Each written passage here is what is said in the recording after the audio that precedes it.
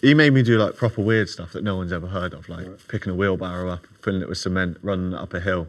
Oh, like them that, ones. that Military training. Yeah, like, Some like Rocky business. yeah, yeah, like Rocky. Yeah, so and then like on potato fields because he says it's better to run on potato fields because it's better for your ankles and it's harder to run on.